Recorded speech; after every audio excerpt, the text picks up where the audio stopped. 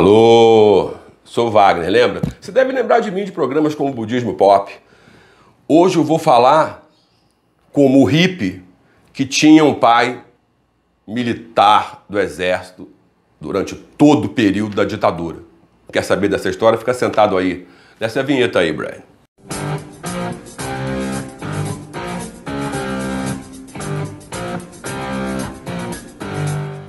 Olá, o Wagner, lembra? Dá logo o seu like, se inscreve logo no canal, continue se inscrevendo, fala para os amigos.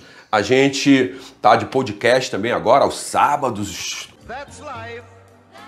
Come on, Saturday night, it's good. Aqui nós estamos de outras histórias. É, essa história é muito cara para mim, porque eu convivi muitos anos com meu pai. É, ele se separou de minha mãe e foi morar uh, no Recife em 74. Eu já tinha 21 anos. E ele voltou para o Rio de Janeiro, ali para a região onde está a família dele, Barra Mansa, Volta Redonda, em 84. E esse período de afastamento, durante esse período de afastamento, mais precisamente entre 81 e 82, eu estava divorciado do meu primeiro casamento. Pois é, eu vivia me casando, as pessoas fazem isso. Né? É, ainda sou casado até hoje. Todo mundo é na verdade, de alguma maneira. O que acontece é que eu estava num exílio em Belo Horizonte, a capital de Minas Gerais, exilado na rua principal. E lá eu estava absolutamente hippie, porque eu estava vivendo de feira hippie. Eu estava com uma batelada de mais de mil livros de poesia, já até mostrei um deles para vocês outro dia chamado Crepúsculo, Uma Porta entre Dois Mundos. Well, um álbum solo.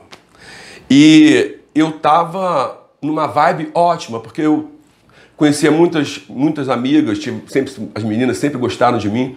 Eu arrumei uma menina que é, trabalhava num jornal em Belo Horizonte e ela gentilmente fez o meu livrinho sair no segundo caderno do jornal Estado de Minas mora na onda. Belo Horizonte é uma pequena cidade grande, foi bonito. Foi bem legal. E tornou mais fácil vender o livrinho na feira de poesia, que era é, acontecia quinta-feira à noite e domingo pela manhã, a partir das 10 horas. Era o point pop. Lá é que você via os hippies, né? E os aprendizes de, junto com os melhores artesãos que você podia imaginar. Eu estou falando de uma época antes do Durepox, tá legal? Falando de artesanato mineiro, de couro, madeira, de pedra, enfim. E as poesias caíram muito bem ali. Eu conheci uma menina que, uh, por acaso, comprou o livro e gostou de mim. E a gente começou a ter um pequeno afé. E um dia ela me convenceu a almoçar na casa dela depois de uma feira hippie de um domingo, que estava assim bastante calor, igual hoje. E aí eu fui até a casa dela para esse churrasco e lá conheci o pai dela. O pai dela, um sargento uh, do exército que não era reformado, foi o que me chamou a atenção. Ele tinha sido caçado, né? ele teve o seu, o seu cargo é, retirado à força de um ato institucional, né? devido a ele ter participado de uma reunião no Clube dos Sargentos e Subtenentes aqui no Rocha, onde os sargentos se encontraram com o presidente João Goulart. Felizmente, meu pai não foi, e por muita sorte, quem não foi não perdeu o cargo, quem foi foram todos postos na rua. Esse sargento, sargento Tiago, é um desses casos.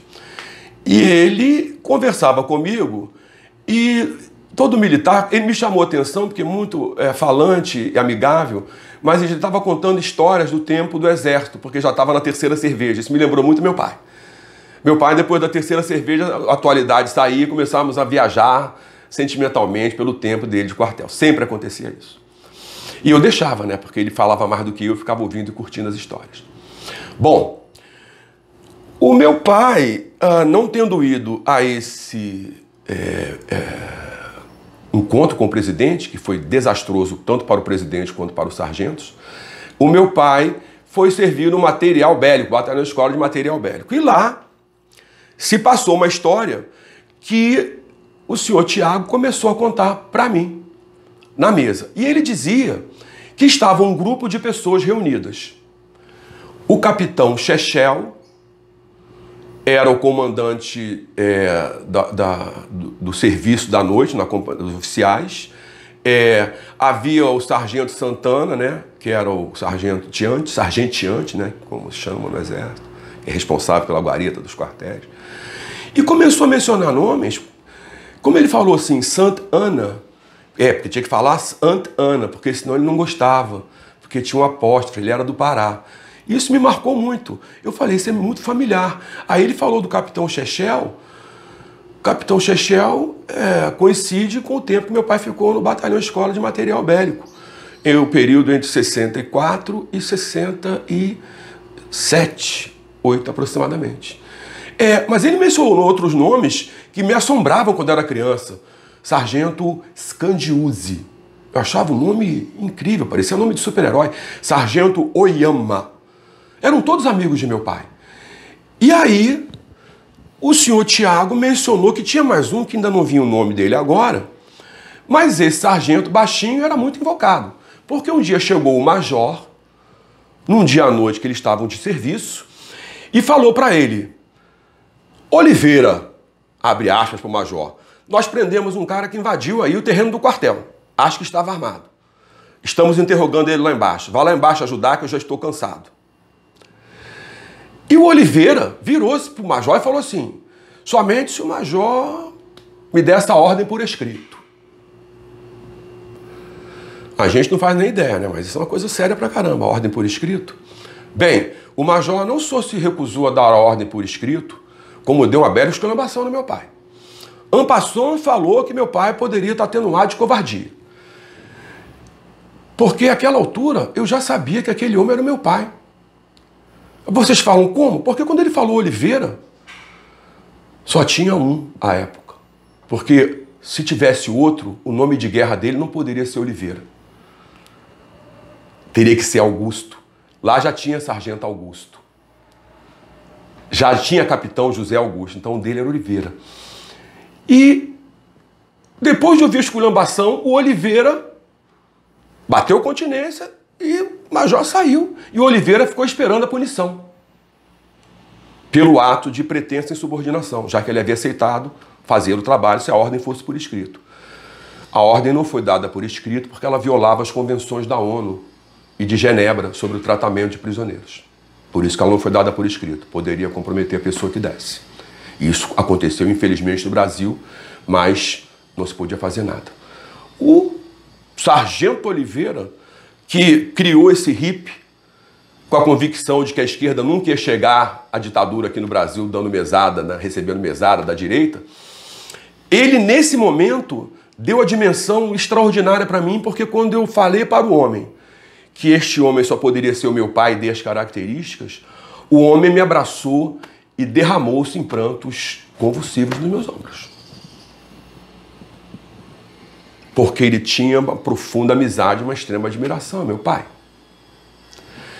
Eu quero é, terminar essa breve história contando para os senhores o seguinte: nesse dia eu cheguei em casa, tomado por uma febre rodriguiana, e escrevi 100 lautas para o meu pai, à mão, que foram distribuídas em 20 cartas. Quando meu pai recebeu essas cartas no batalhão lá dele de Recife, ele estava servindo uh, é, e morando em Jaboatão, uh, ele recebeu as cartas juntas, um maço de cartas, que era uma convocação para uma conversa milenar. Quando eu encontrei meu pai ao vivo, dois anos depois, quando ele veio morar para ficar, nós começamos a conversar num sábado à tarde e terminamos numa segunda-feira de madrugada. De modo que no dia que meu pai se foi, no dia 5 de dezembro de 2005, eu tinha dito tudo a ele, inclusive o quanto era importante saber que ele nunca tinha participado de nada que eu repudiei naquela ditadura. Eu nunca fiquei tão contente de ser filho desse homem. Né? É uma coisa que todo mundo tem mãe, mas pai também é bem legal. Eu tenho maior orgulho do meu pai. Sargento Oliveira, na meu Rorengue a gente se vê.